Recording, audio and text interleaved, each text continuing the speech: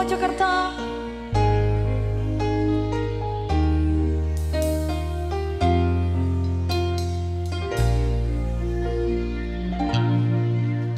Wis nasibe kutu koyong ini Coba tanya dengan semuanya. Due pojo kok ra ngepenake Senang